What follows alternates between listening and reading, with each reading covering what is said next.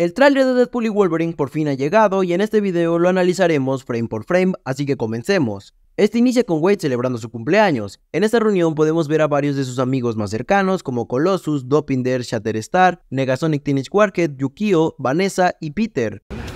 Miren a esos majestuosos hijos de puta. También podemos ver a la abuela y a Bog. Si no recuerdas este personaje, es el tipo al que Vanessa le agarró los huevos por faltarle al respeto.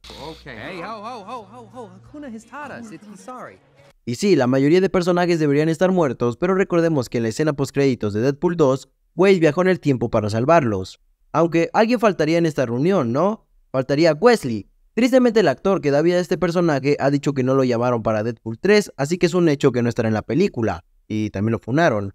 Después de que Wade le dijera a sus amigos lo agradecido que estaba con ellos y apagar la vela de su pastel, varios minuteros tocan su puerta. Aquí vemos el número 17, que puede ser una referencia al Deadpool número 17 donde se unen los X-Men. Wade aquí hace un chiste. A mí ya me llenaron el agujero, pero a Disney no. El cual es una referencia a que será la primera película del MCU en ser clasificación R. Deadpool es llevado a la TVA y aquí conocemos al agente Paradox. En los cómics es una de las tantas variantes de Mobius. En el MCU no sabemos si se manejará de esta manera, o será una versión completamente nueva, así como lo fue Ouroboros, ya que en los cómics también es una variante de Mobius. El agente Paradox le dice a Wade que es especial y que es su oportunidad de ser un héroe entre héroes, Mientras dice esto, tenemos un vistazo a las instalaciones de la TVA. Este personaje se parece muchísimo a Victor Timely, aunque es imposible que sea él, ya que el actor fue cancelado. Y aquí me quiero detener un poco en la TVA, ya que el final de Loki nos dejó con que esta organización ahora iba a vigilar a variantes de Kang en lugar de podar las ramificaciones, ya que con el hidrasil multiversal que creó Loki al final de su segunda temporada, esto ya es innecesario. Por eso me hago la pregunta de por qué la TVA querría a Deadpool, ya que por lo que vemos en el tráiler se nos da a entender que la TVA o el agente Paradox lo necesitan para algo. Y yo tengo una teoría para esto, y es que ahora la TVA no solamente vigila a variantes de Kang, sino a personajes que pongan en riesgo al multiverso.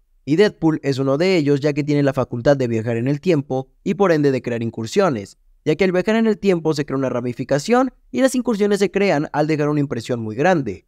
Y esto es lo que hizo Deadpool al final de su segunda entrega. Creó una gran incursión, la cual causó que el Foxverse se destruyera por completo, y por eso en esta película vamos a ver a muchísimos personajes del Foxverse en el vacío. Y en este mismo tráiler sale uno, Pyro, este personaje que tiene la habilidad de manipular el fuego, el cual apareció en X-Men 2 y X-Men 3. El agente Paradox o la TVA necesitarían a Wade para acabar con otra amenaza multiversal, la cual sería Cassandra Nova, que por filtraciones sabemos que será la villana de esta película. Aunque, ¿quién es Cassandra Nova? Pues en los cómics es la hermana del Profesor X, o mejor dicho, un Mumundrai. Un Mumundrai es básicamente la versión malvada de nosotros mismos, y según la leyenda de los Shair, antes de nacer tenemos que pelear contra este ente, y así ocurrió con el profesor X. Luchó en el vientre de su madre contra esta versión maligna y ganó. Aunque años después, Cassandra Nova reaparecería con una forma humana. Cassandra es una entidad psíquica muy poderosa que ha buscado la extinción de los mutantes y de la humanidad, una villana sumamente peligrosa.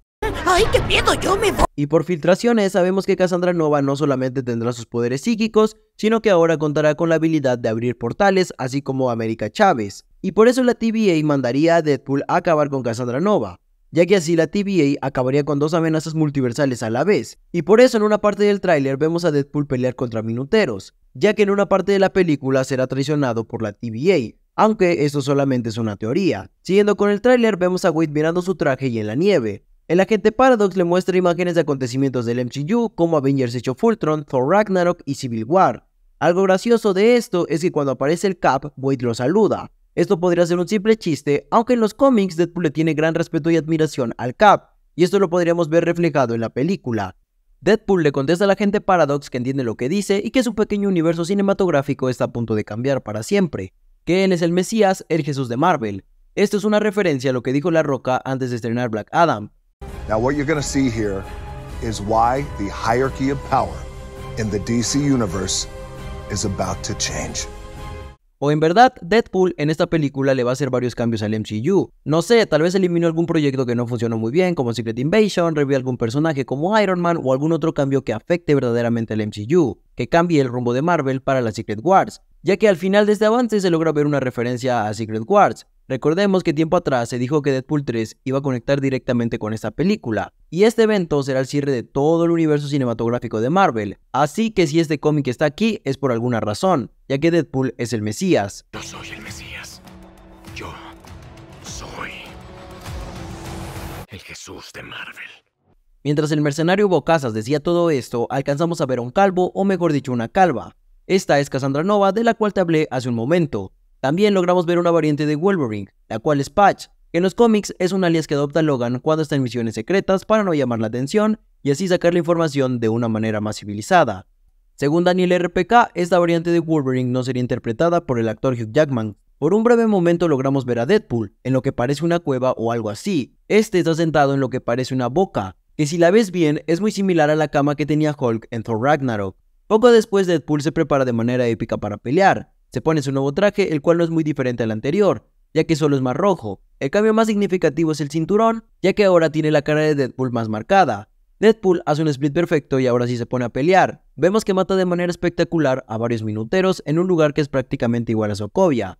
En Sokovia se dieron los acontecimientos de Avengers hecho Fultron. Luego de recargar sus pistolas de manera brutal, Alayot hace su aparición, matando a un minutero. Si no recuerdas quién es Alayot, es esa criatura que apareció en Loki, la cual se encargaba de cuidar la entrada de la ciudadela al final del tiempo. En esta misma escena podemos ver el carro de helados que apareció en el primer capítulo de Moon Knight. Hace meses había filtrado este coche, al igual que un auto de Hydra que apareció en Capitán América el primer Vengador y la nave de los Cuatro Fantásticos. No creo que ninguno de estos personajes aparezca en la película, yo creo que es una simple referencia. Otra referencia es esta escena donde Deadpool saca su mano, la cual es igual a este de Deadpool 1. Ya casi al final del avance vemos a Deadpool retar a algún personaje, que si nos fijamos en los asientos no es otro que dientes de sable, ya que podemos ver arañazos en los asientos, y por filtraciones sabemos que este personaje aparecerá en esta película. Aunque retar a este personaje no le sale muy bien a Wade, ya que después lo vemos salir del coche con los brazos rotos.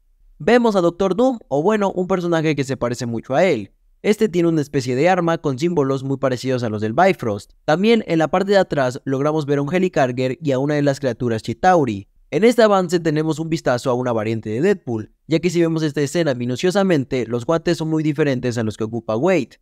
Así que estoy casi seguro de que se trata de Lady Pool o de alguna variante de este personaje. Ya para finalizar, tenemos un mini adelanto de la pelea que tendrá Wolverine y Deadpool, en la que Wade no la pasará nada bien, tan solo mira cómo sale volando. Wolverine aparece o más bien su espalda y es brutal. El último easter egg es este refresco el cual apareció en el increíble Hulk. ¿Será que veamos este personaje en esta película? El tráiler no muestra mucho sobre la historia, nos deja con más preguntas que respuestas, y esto es lo que lo hace genial, ya que se guarda todas las sorpresas para el día del estreno. También salió este spot, aunque lo único nuevo es esta escena de Wolverine, aunque se ve borrosa, así que no hay mucho que analizar. El título oficial de esta película será Deadpool y Wolverine, y creo que no pudieron elegir uno mejor. Pero bueno, estas son todas las referencias que yo encontré en este tráiler. Déjame en la caja de comentarios si me faltó alguna y también qué te pareció este primer avance. Nos vemos.